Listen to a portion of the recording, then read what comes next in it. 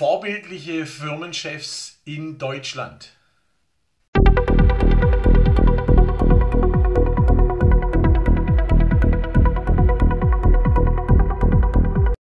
In meinen über 25 Jahren als Trainer und Coach durfte ich viele vorbildliche Firmenchefs kennenlernen. Darunter war Arthur Fischer, der König der Dübel.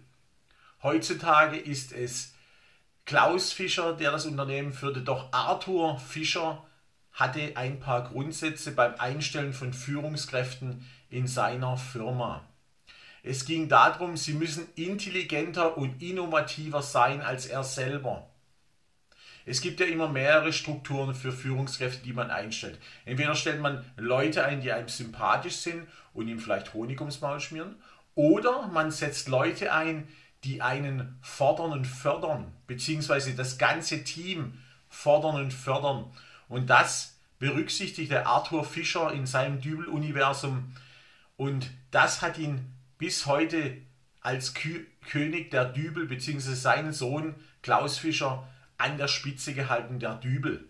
Und jeder kennt Fischer Dübel.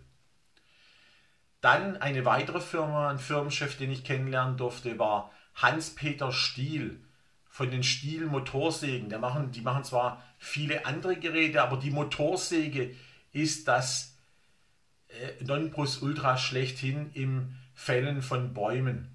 Und er hat auch gesagt, ich muss Menschen Geräte an die Hand liefern, mit denen sie leichter Bäume, Äste, äh, Büsche bearbeiten können. Und das ist erstmal das erste Grundvision seines Unternehmens.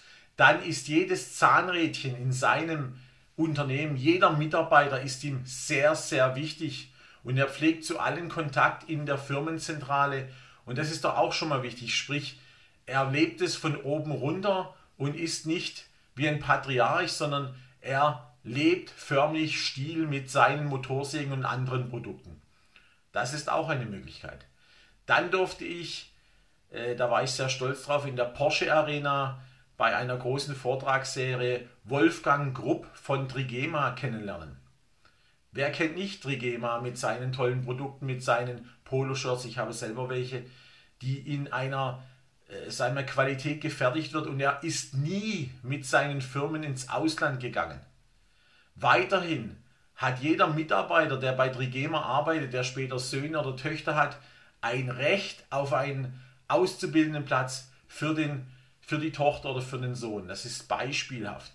Weiterhin ist er ein sehr großer Visionär, hat seine Kinder, seine Tochter und seinen Sohn mit seiner Frau im Unternehmen installiert und er lebt mit jeder Faser seines Körpers Trigema.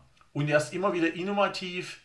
Er lässt sich nicht auf Billigprodukte ein, wie es auch viele große Hersteller heute machen, wenn man sieht, äh, die wo dann ganz billig produzieren lassen. Das ist nicht der Sinn von Wolfgang Grupp.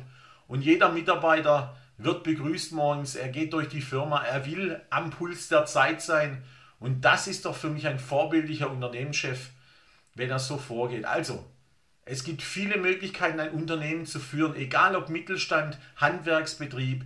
Wichtig ist, eine Einheit zu schaffen mit den Mitarbeitern, die die Zahnräder des Unternehmens sind, gut zusammenzuarbeiten und wichtig auch, Vertrauen zu geben und zu übermitteln, beziehungsweise dass die das Vertrauen auch rechtfertigen und nachher im Unternehmensprozess gute Sachen produzieren, beziehungsweise die Dienstleistung gut vermarkten. In diesem Sinn wünsche ich allen Firmenchefs und die es noch werden wollen, eine gute Auffassungsgabe und immer wachsam bleiben. Euer Siegercoach Sven William. Siegen ist kein Zustand, sondern ein Prozess und wir hören und sehen uns. Ciao.